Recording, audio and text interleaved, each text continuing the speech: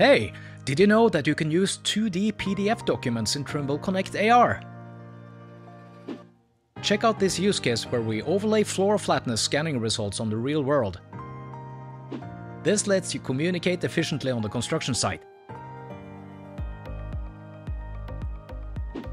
Watch our Trimble Connect quick tip video to learn more.